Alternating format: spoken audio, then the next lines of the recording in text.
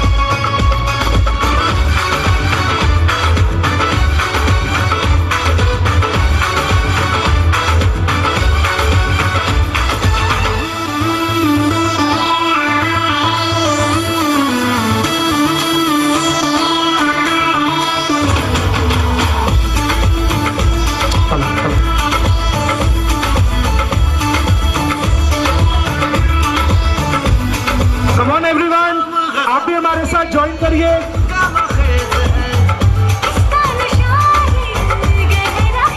अपनी अपनी सीट्स पर एक साथ।